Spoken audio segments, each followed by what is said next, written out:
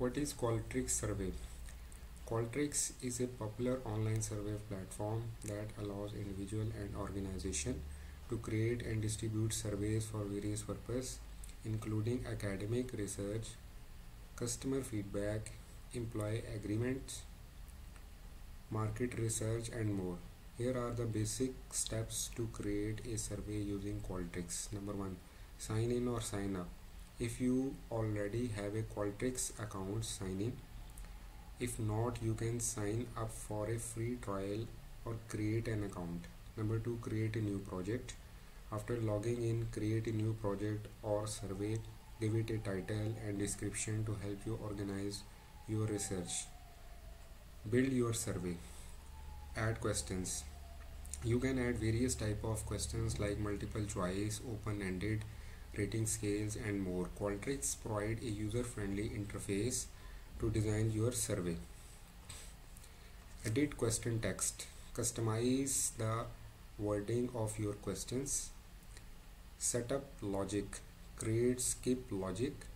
Display logic and branching to make your survey dynamic and responsive. Use pipe text to personalize questions or answer choices based on previous responses.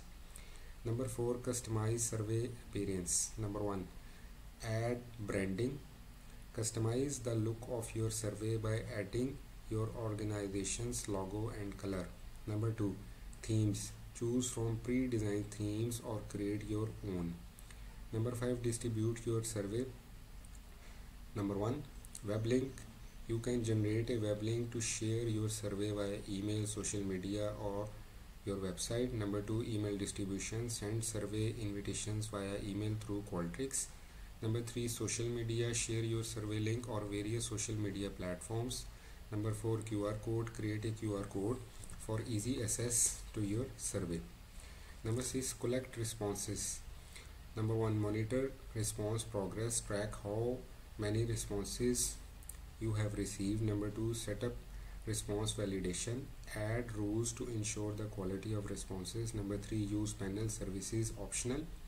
Qualtrics offer paid services to reach specific demographics. Number seven analyze results. Point number one real-time results. Qualtrics provide real-time analytics and reporting. Number two exporting data. Download survey data in various formulas for further analysis. Number eight report and share results create reports and share them with stakeholders. Number 9 close the survey. When you when you are done collecting responses close the survey to prevent further submissions. Number 10 data analytics. Point number 1 use built-in analysis tool in Qualtrics or export data to external tools like Excel or statistical software for in-depth analysis. Number 11 Survey reports. Create customized reports to summarize your findings and insights. Number 12. Survey management. Archive or delete old projects when they are no longer needed. Remember to follow ethical guidelines and best practices when conducting surveys, especially if you are collecting personal information or sensitive data. Qualtrics provides various security and compliance features to help protect data and ensure privacy. Please note that the specific steps and features available in Qualtrics may vary depending on your subscription level and any updates made to this platform.